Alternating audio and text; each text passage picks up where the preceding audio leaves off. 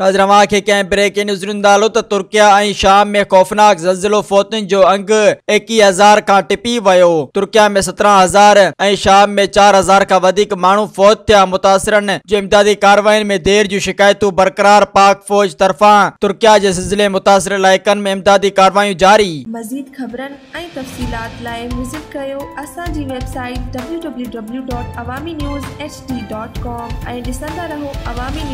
ख़बरनि